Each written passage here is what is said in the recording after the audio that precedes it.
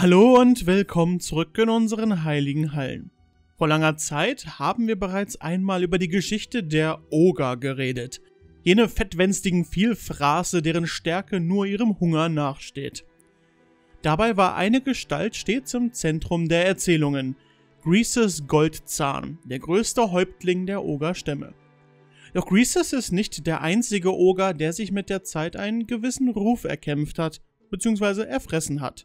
Daher möchte ich euch heute die Geschichte von einem der anderen großen Oger erzählen. Golgfuck dem Vielfraß oder Golgfuck Maneater, um ihm seinen passenderen Namen zu geben. Denn auch wenn ihr noch nie von Golgfuck gehört haben solltet, so wisst ihr zumindest indirekt von seinem Ruhm. Denn wie jeder weiß, nennen sich die Oger-Söldner selbst die Maneater bzw. Vielfraße und diese Bezeichnung verdanken sie dem größten unter ihnen, Golgfuck. Denn Golgfuck pflegte seine Handelspartner zu verschlingen, sofern sie ihn nicht vollständig bezahlten.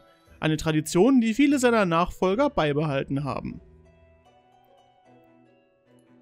Golgfuck begann seine Laufbahn als Söldner vor über 60 Jahren, zu einer Zeit, als wandernde Oger alles andere als gewöhnlich waren.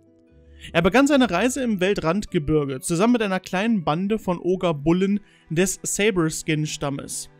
Als erstes heuerten sie bei einem Ork-Boss namens Gnashrak Badtooth an, der in einem Krieg mit den Truppen der Slayer-Festung von Karak Kadrin verwickelt war. Und auch wenn Golgfark von Goblin- und Zwergenfleisch lange nicht so begeistert war wie von Menschenfleisch, waren Bezahlung und Unterhaltungsfaktor in diesem Konflikt zu gut, um es auszuschlagen. Das Problem war jedoch, dass sich der Oger vielleicht etwas zu sehr amüsierte. Denn im Laufe der verschiedenen Schlachten wurde Gnashrak immer ungeduldiger mit den Ogern. Ihr unerhört hoher Verzehr von Goblins machte seine Schwarzorks sauer und behinderte den Bau von Kriegswaffen. Die dicken Schläger tranken nahezu das ganze Pilzbräu und zu allem Überfluss sangen sie dabei auch noch in unerträglicher Lautstärke. Und da Gnashrak ein orkiger Orko ist, hat er sich dem Problem in der einzigen Art angenommen, die er kennt. Er hat Golgfag lautstark angebrüllt und ihm mit dem Spalter gedroht. So Gnaschrak ein orkiger Ork ist, so ist Golgfak allerdings ein ogeriger Oger. Und auch er antwortete in der einzigen Art, die er kennt. Indem er Gnaschrak den Arm ausriss und im folgenden Gemosche erst den Orkboss und dann noch seine versammelten Schwarzorks mit selbigem vermöbelte. Genervt von der orkigen Hinterhältigkeit gingen Golgfak und seine Jungs zu Ungrim Eisenfaust, dem Herrscher von Karak Kadrin boten ihm den Arm von Gnajrak als Beweis ihres Sinneswandels an und baten um Anheuerung. Eisenfaust misstraute den Ogern zwar, konnte jedoch schlecht eine so schlagkräftige Hilfe ablehnen. Im folgenden Kampf bewiesen sich Golgfak und seine Gefolgsleute einmal mehr als exzellente Kämpfer, indem sie den nun einarmigen Gnajrak gefangen nahmen und Ungrim übergaben. Eisenfaust war derart begeistert von den Leistungen der Oger, dass er sie am Siegesfest in Kadrin teilhaben ließ. Golgfag nahm dankend an, kassierte seine fürstliche Belohnung und raubte während dem Fest auch noch die Schatzkammer der Zwerge aus. Mit mehr Essen und Gold beladen, als die meisten tragen könnten, machten sich die Oger mit dem ergaunerten Gütern in Richtung Imperium davon. Während einigen Schlachten für die imperialen Kurfürstentümern, in denen Golgfag hauptsächlich gegen Tiermenschen und Orks kämpfte, stolperte er durch Zufall über das Mutland, die Heimat der Halblinge. An dieser Stelle seines Lebens etablierte sich Golgfark als mein persönlicher Favorit unter den lebenden Ogern, denn er entdeckte Halblinge als neue Leibspeise. Leider beschwerten sich die kleinen Bastarde bei den imperialen Autoritäten und Golgfarks wohlverdiente Fressorgie fand ein Ende. Enttäuscht vom imperialen Eingreifen zogen er und seine Oger weiter in den Süden, nach Tilea, hier heuerten sie beim berühmten General und Prinzen von Lucini, Lorenz Lupo, an. Und wer bisher aufgepasst hat, kann sich denken, wie der Aufenthalt verlief. Die Oger bewiesen sich einmal mehr als ausgezeichnete Frontbrecher, machten ihrem Vorgesetzten aber außerhalb der Kämpfe außerordentliche Probleme. Sie verwüsteten die Stadt, zettelten Schlägereien an, fraßen Menschen und plünderten sogar den persönlichen Weinvorrat von Lorenzo Lupo. Als Antwort auf diese Ausschreitungen ließ Lorenzo die Oger von einer Abteilung Pikiniere und Armbrustschützen verhaften und in den Kerker werfen. Lorenzo wusste jedoch, dass er die Oger nicht ewig festhalten konnte, und da kam ein Hilfsgesuch aus den Grenzgrafen mehr als recht. Anstatt seine Soldaten zu entsenden, schickte er Golgfuck und seine Männer, die er mit zwei Wagenladungen an Essen bestach, den Auftrag anzunehmen. Im Gebiet der Grenzgrafen herrscht steter Konflikt. Entweder weil Orks angreifen, Tiermenschen einfallen oder einfach weil die Grafen sich einmal mehr untereinander attackieren. In einer solchen Umgebung fühlten sich Golkwak und seine Vielfraße pudelwohl. Jeden Tag gab es einen neuen Feind zum Vermöbeln und gewaltige Mengen an Futter als Bezahlung. So verbrachten sie Jahre damit, sich von verschiedenen Seiten anheuern zu lassen, die sich gegenseitig immer weiter überboten, um die gewaltige Kampfkraft der berüchtigten Man-Eater auf ihrer Seite zu wissen. Aus Gründen, die uns nicht weiter bekannt sind, wahrscheinlich jedoch wegen schlichter Langeweile, begaben sich Golgfark und seine Jungs nach einigen Jahren in den Grenzgebieten zurück ins Weltrandgebirge.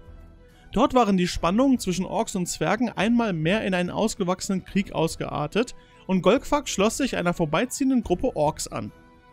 Als Ungrim Eisenfaust erfuhr, dass Golgfark wieder unter den Feinden wandelte, ersann er einen cleveren Plan, um den Oger aus dem Kampfgeschehen fernzuhalten. Er schickte eine Versorgungskolonne durch die Berge und plante die Route exakt so, dass sie an dem Orklager vorbeiführte, in dem Golgfarks Jungs residierten. Wie erwartet wurde der Konvoi überfallen und geplündert.